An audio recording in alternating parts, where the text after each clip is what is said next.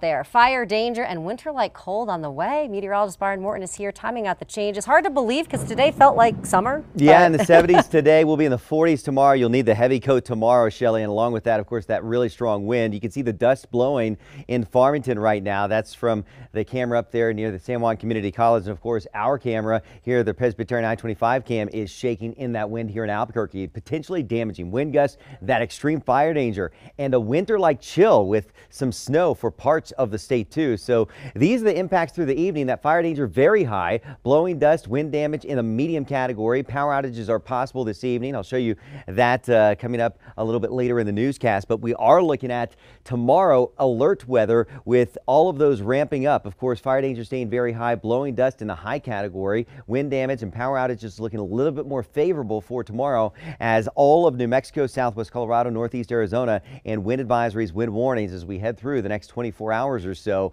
with those dangerous wind gusts in the forecast and that extreme fire danger. Don't do anything that would start a spark. Look at these wind gusts right now 66 in Gallup, 61 in Farmington. That's severe storm strength 52 in Ruidoso. So we have the gusty winds right now. We'll continue those through the evening through dinner time. Overnight they'll come down a little bit, but they'll ramp up quickly tomorrow morning. And it's going to be an even windier day tomorrow, likely as this powerful front changes into a cold front and sweeps across New Mexico. Check out the wind gust forecast. Now, don't focus so much on the actual numbers, but where you see the brown and orange, that's where the winds will be the strongest. Focused over northwest New Mexico this evening, then overnight, that will shift into central areas, and then through the day on Tuesday, that shifts from the central mountains into the eastern part of the state with those strongest wind gusts. We already have some snow across the Four Corners region, northwest New Mexico, Durango, Cuba, into areas around Chama, Farmington, Chinle, Gallup, and Grants. Could see a light accumulation as we head through tonight into tomorrow, but not a big moisture maker with this one. Alert weather tomorrow, giving you the heads up. More fire danger, especially the southeastern half of the state tomorrow, and much colder temperatures. We'll be in the 40s in Albuquerque, 30s for highs in Santa Fe, and in the 50s for Ruidoso with those super strong winds out there. Some snow showers across north. Farmington, the Four Corners, super strong winds. We feel those gusts out there in Gallup and Farmington right now. They will continue tonight into tomorrow with areas of snow and blowing snow. Look at that temperature, 41 tomorrow down to 17 by Wednesday morning, and then we warm up for the end of the week into the Easter weekend. Southwest New Mexico, dangerous wind gusts out there, areas of blowing dust, Socorro, T or C, and also into Silver City, Lordsburg, and Deming. We'll have that strong wind tomorrow that will drop the temperatures with colder air into the low 20s by Wednesday morning. Then we dig out of it as we head through the next several days after that into the Easter weekend.